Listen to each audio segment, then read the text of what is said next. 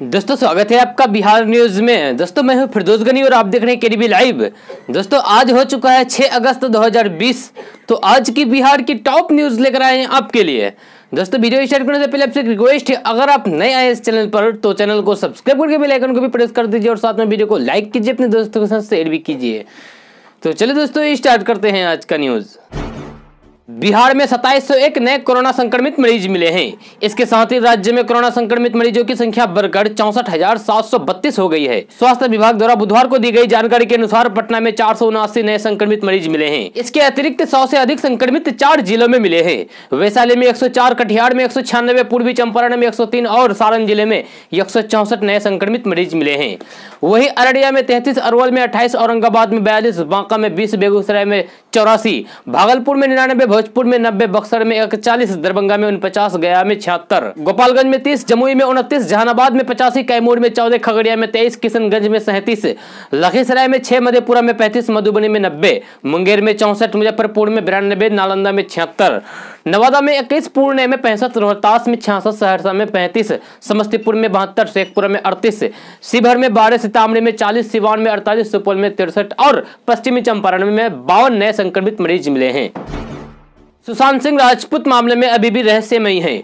वही social media पर लगातार सुशांत के घर वालों से लेकर देश के बड़े बड़े नेता इस केस में सीबीआई जाँच करने की मांग कर रहे हैं। इसी बीच मंगलवार को बिहार सरकार ने केंद्र सरकार से सीबीआई जाँच की सिफारिश की थी। वहीं अब खबर आ रही है कि बिहार सरकार की इस सिफारिश को केंद्र सरकार ने स्वीकृति कर दी है। जी हाँ, अब केंद्र ने बिहार सरकार की यह सिफारिश मंजूर कर ली है। सुप्रीम कोर्ट में केंद्र ने बताया कि सुशांत सिंह केस की जाँच सीबीआई को ट्रांसफ़र कर दी है। बिहार विधानसभा चुनाव को लेकर अब कांग्रेस भी वर्चुअल मैदान में उतर गई है। कांग्रेस की तरफ़ से पार्टी के पूर्व राष्ट्रीय अध्यक्ष राहुल गांधी ने इसकी कमान संभाल ली है। राहुल गांधी 6 अगस्त यानी कि आज बिहार कांग्रेस के अध्यक्ष समेत चार कार्यकारी अध्यक्षों से लेकर जिला और प्रखंड अध्यक्ष तक से ऑनलाइन जुड़ेंगे और उन्हें वर्चुअल माध्यम से संबोधित करेंगे। राहुल गांधी बार और कोरोना संकट के साथ साथ चुनावी की तैयारी को लेकर पार्टी के नेताओं से चर्चा करेंगे। राहुल गांधी के कार्यालय द्वारा बिहार कांग्रेस के नेताओं को छह अगस्त की प्रस्तावित वर्चुअल रैली की जानकारी जानकारी दी गई है। बिहार की हर घर, नल, जल निश्चय योजना को अंतर्राष्ट्रीय पहचान मिलेगी। जी हाँ जी ट्वेंटी देशों के सम्मेलन में इस योजना का प्रस्तुतिकरण किया जाएगा। भारत सरकार की ओर से इसकी प्रस्तुति सम्मेलन की जाएगी। बिहार की ओर से इस योजना पर विस्तार से रिपोर्ट भारत सरकार को भेज दी गई है। गौरतलब है की जी ट्वेंटी में शामिल सभी देशों का सम्मेलन इक्कीस और बाईस नवंबर को सऊदी अरबिया की राजधानी रियाद में हो रहा है। बिहार में गंगा समेत राज्य के सभी प्रमुख नदियों का जलस्तर नीचे उतरने लगा है। मंगलवार को गंगा और कमला के जलस्तर में अच्छी गिरावट दर्ज की गई है। इसके बावजूद गोपालगंज और चंपारण के इलाकों में पानी का दबाव अब भी बना हुआ है। उधर दरभंगा में खिरोई नदी और सिवान में घाघरा नदी थोड़ी ऊपर चढ़ी है। सारण और चंपारण में कई तटबंधों के टूटने पर मरम्मत में इंजीनियर सफल हो गए हैं। लेकिन अब भी बाँध पर पशुओं के शरण लेने के कारण परेशानी कम नहीं हो रही है। विभाग के अधिकारी बांधों पर कैंप कर रहे हैं और लगातार निगरानी कर रहे हैं कहीं ये टूटे ना। बिहार में विधानसभा चुनाव में जनता को अपनी ओर आकर्षित करने की तरह तरह के प्रयास किए जा रहे हैं। कोरोना से पैदा हुए महामारी यानी कि कोरोना का प्रकोप किस दवा से खत्म होगा, इस सवाल का जवाब तलाशने के लिए दुनिया भर के शोधकर्ता मेहनत कर रहे हैं। अभी तक एक ही बात सामने है कि जिन लोगों की रोग प्रतिरोधक क्षमता मज़बूत है, यानी कि जिन लोगों की इम्यूनिटी सिस्टम मज़बूत है उन पर कोरोना का हमला घातक नहीं होता है। शरीर में प्रतिरोधक क्षमता बढ़ाने के अनेक उपाय मीडिया, सोशल मीडिया पर सुझाव दिए जा रहे हैं। खुद प्रधानमंत्री नरेंद्र मोदी ने भी कोरोना काल के इस दौर में आयुष मंत्रालय द्वारा बताए गए उपायों का पालन करने की बात कहते हुए आयुर्वेदिक विधियों द्वारा रोग प्रतिरोधक क्षमता बढ़ाने की अपील लोगों से की है। प्रधानमंत्री नरेंद्र मोदी की इसी आग्रह को आधार मानकर बढ़ते कोरोना संक्रमण को देखते हुए भोजपुर में बीजेपी कार्यकर्ताओं ने आयुष मंत्रालय द्वारा सुझाव किए गए विधि से बने कारा का स्टॉल लगाया गया, जहाँ लोगों को निःशुल्क यानी कि फ्री में काढ़ा पिलाया गया। जी हाँ भोजपुर के शाहपुर विधानसभा की पूर्व विधायक मुन्नी देवी की टीम ने शाहपुर इलाके में कई जगहों पर काढ़े का स्टॉल लगाया गया और इसे नाम दिया है नमो कारा स्टॉल। इन स्टॉल पर लोगों को गिलोय, इलायची, तेज पत्ता, सौठ, गुड़, अजवाइन, मुनक्का, नींबू और अन्य आयुर्वेदिक जड़ी बूटियों से निर्मित कारा लोगों के बीच वितरण किया गया ताकि वे लोग भी अपनी प्रतिरोधक क्षमता बढ़ा सके जो अक्षम या फिर जरूरतमंद है। बिहार के उन्नीस जिलों के किसानों को बिहार सरकार आर्थिक मदद करने वाली है। मिली जानकारी के मुताबिक बाढ़ के कारण बिहार में बहुत से किसानों की फ़सल बर्बाद हो गई है। उन किसानों को राज्य सरकार की ओर से अनुदान दिया जाएगा। मिली जानकारी के मुताबिक सारण, सिवान, गोपालगंज, मुजफ्फरपुर, पूर्वी चंपारण, पश्चिमी चंपारण, सीतामढ़ी, शिवहर, दरभंगा, मधुबनी, समस्तीपुर, खगड़िया, सहरसा, सुपौल, मधेपुरा, पूर्णिया, अररिया, किशनगंज तथा कटिहार के कुल 200 प्रखंड में रहने वाले किसानों को सरकार आर्थिक रूप से मदद करने के लिए पैसा दे सकती है। जी हाँ बिहार के कृषि मंत्री डॉक्टर प्रेम कुमार ने कहा है कि इस संदर्भ में अधिकारियों को सूचना दे दी गई है। किसानों को बाढ़ से जितना नुकसान हुआ है, उतना सरकार उसको भरपाई करेगा। बिहार में बहुत से लोग ज़मीन की रजिस्ट्री कराते हैं, लेकिन सही जानकारी नहीं होने के कारण कई बार उन्हें परेशानियों का भी सामना करना पड़ता है। आज इसी विषय में जानने की कोशिश करेंगे कि बिहार में ज़मीन की रजिस्ट्री फ़ीस कितनी है, यानी कि ज़मीन की रजिस्ट्री कराते हुए कितने रुपए लगते हैं। मिली जानकारी के मुताबिक बिहार में बंटवारे की ज़मीन की रजिस्ट्री फ्री में होती है, इसमें एक पैसा नहीं लगता, सिर्फ़ स्टाम्प के लिए पचास रुपए खर्च करना पड़ता है। इसलिए अगर आप पारिवारिक बंटवारे की ज़मीन की रजिस्ट्री कराते हैं तो आप इस बात का ख्याल रखें। नंबर दो, बिहार में गरीबों की ज़मीन रजिस्ट्री सिर्फ़ सौ रुपए में होती है। राज्य में बिना ज़मीन मकान वाले परिवारों को अब अपनी ज़मीन की रजिस्ट्री के लिए सिर्फ़ सौ रुपए खर्च करने होंगे। जी हाँ नंबर तीन, शहरी और ग्रामीण इलाकों के ज़मीन की रजिस्ट्री की कीमत अलग अलग है। नंबर चार, ज़मीन की रजिस्ट्री कराने के लिए आपको ज़मीन की कीमत का 10 प्रतिशत खर्च करना पड़ेगा। नंबर पाँच, आप बिहार में ज़मीन की रजिस्ट्री ऑनलाइन के माध्यम से भी करा सकते हैं। अयोध्या में राम मंदिर का शिलान्यास संपन्न हो गया है। प्रधानमंत्री नरेंद्र मोदी भूमि पूजन के बाद मंदिर की नींव रखी है। राम मंदिर के शिलान्यास समारोह का शुभ मुहूर्त बत्तीस सेकंड का हुआ, जो दोपहर बाद बारह बजकर चौवालीस मिनट, आठ सेकंड से लेकर बारह बजकर चौवालीस मिनट चालीस सेकंड तक रहा। इसको लेकर पूरे देश भर में उत्साह का माहौल रहा। राम भक्त अपने अपने तरीके से इस पर प्रतिक्रिया दे रहे हैं। साथ ही इसी कड़ी में केंद्रीय मंत्री और बिहार के बेगूसराय से बीजेपी के सांसद गिरिराज सिंह ने भी ट्वीट करके राम मंदिर के निर्माण पर अपनी प्रतिक्रियाएँ दी है। गिरिराज सिंह ने ट्वीट करते हुए लिखा है कि यह भारत की सांस्कृतिक और धार्मिक गुलामी का अंत भी है। गिरिराज सिंह ने अपने ट्वीट में लिखा है कि राम अपने ही जन्मभूमि पर अब काल्पनिक नहीं रहेंगी। ये केवल राम के मंदिर की आधारशिला नहीं है, बल्कि भारत के सांस्कृतिक और धार्मिक गुलामों का अंत भी है। कटिहार साइड थाना के दो नंबर नाका के पास एक चलती ट्रक में आग लग गई। आग लगने से ट्रक चालक और खलासी किसी तरीके से वहाँ से कूद गए। मौके पर पहुँची दमकल की टीम ने आग पर किसी तरीके से काबू पाया है। स्थानीय लोगों ने आग को काबू में लाने के लिए काफ़ी मदद की। पुलिस और दमकल कर्मी को आगे की सूचना दी गई। सूचना पर दमकल कर्मी वहाँ पहुँचे। इस घटना में चालक और खलासी किसी तरीके से अपनी जान बचाने में सफल रहे। भारत में कोरोना का कहर जारी है और दिन प्रतिदिन संक्रमण के रिकॉर्ड टॉर मामले दर्ज हो रहे हैं। देश में अब रोज़ाना कोरोना के पचास हज़ार से ज़्यादा मामले सामने आ रहे हैं। देश में पिछले 24 घंटे में बावन हज़ार पाँच सौ नौ नए कोरोना के केस सामने आए हैं। इसके साथ ही देश में कोरोना संक्रमण के कुल मामले बढ़कर अब उन्नीस लाख आठ हज़ार दो सौ चौवन हो चुके हैं। बिहार के मुख्यमंत्री नीतीश कुमार कल बाढ़ प्रभावित इलाकों के हवाई सर्वेक्षण के लिए निकले। बिहार के सोलह ज़िले बाढ़ की चपेट में आ गए हैं, जहाँ की 60 लाख से अधिक की आबादी इससे प्रभावित हुई है। सीएम नीतीश कुमार कल दरभंगा में बाढ़ राहत शिविर और सामुदायिक किचन का निरीक्षण भी किया। आपदा प्रबंधन विभाग के अपर सचिव रामचंद्र दूर ने बताया की बिहार की विभिन्न नदियों के जलस्तर को देखते हुए आपदा प्रबंधन विभाग पूरी तरीके ऐसी सतर्क है। नदियों के बड़े जलस्तर से बिहार के सोलह ज़िले के कुल एक सौ बीस प्रखंडों की ग्यारह पंचायतें प्रभावित हुई हैं, जहाँ आवश्यकता अनुसार राहत शिविर चलाए जा रहे हैं। बिहार में दिन प्रतिदिन कोरोना से स्थिति बेहद खराब होता जा रहा है, क्योंकि यहाँ नए नए इलाकों से कोरोना मरीज़ मिल रहे हैं, जिससे यहाँ की परेशानियाँ भी बढ़ती जा रही है और लोग खुद को असहज महसूस कर रहे हैं। स्वास्थ्य विभाग द्वारा मिली जानकारी के मुताबिक, बिहार के 10 जिलों में कोरोना की रफ्तार काफ़ी तेज है। इन 10 जिलों में लोगों को रहना मुश्किल होता जा रहा है। लॉकडाउन के बावजूद भी कोरोना का संक्रमण यहाँ खत्म होने का नाम नहीं ले रहा है। जिन दस जिलों में कोरोना का सबसे ज़्यादा कहर है, उनमें पटना नंबर वन पर है। पटना में दस दस मामले अब तक दर्ज किए गए हैं।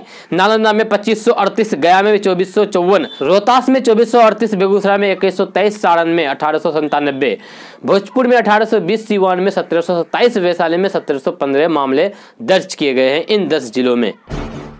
दोस्तों, अगर आप बिहार में वाहन खरीदना चाहते हैं तो बिहार सरकार आपको 50 प्रतिशत की सब्सिडी देगी।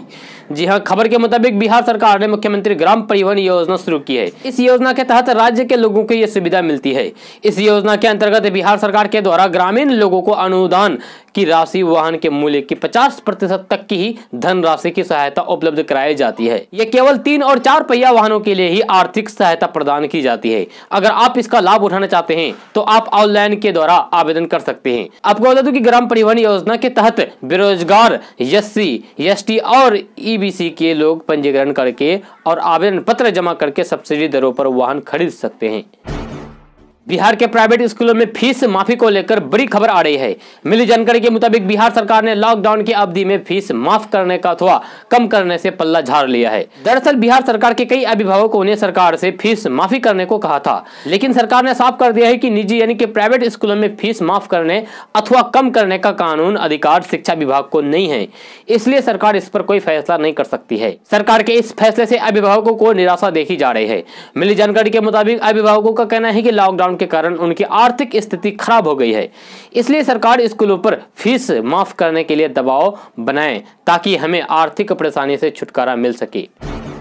बिहार में बाढ़ से अब तक 60 लाख से अधिक लोग प्रभावित हो चुके हैं। जन अधिकार पार्टी के राष्ट्रीय अध्यक्ष पप्पू यादव पिछले एक महीने से बाढ़ प्रभावित इलाकों का दौरा कर रहे हैं। वे आम जन की बात करते हैं और सुनते हैं और उनकी समस्याओं के समाधान के लिए ज़रूरी कदम उठाते हैं। इसी कड़ी में पप्पू यादव कल मुजफ्फरपुर पहुँचे। उन्होंने कहा कि बाढ़ग्रस्त इलाकों में आम जनता मुश्किल में है। उनकी सुध लेने वाला कोई नहीं है। न मुख्यमंत्री नीतीश कुमार इसकी सुध लेते हैं और न ही कोई मंत्री। सरकार की तरफ़ ऐसी किसी भी प्रकार का इंतज़ाम नहीं किया गया है। पप्पू यादव ने राज्य सरकार ऐसी अपील किया है कि सभी बाढ़ प्रभावित लोगों को तत्काल रूप से मुफ़्त राशन मुहैया करवाया जाए तथा प्रत्येक परिवार को बीस हज़ार रूपए की आर्थिक सहायता प्रदान की जाए।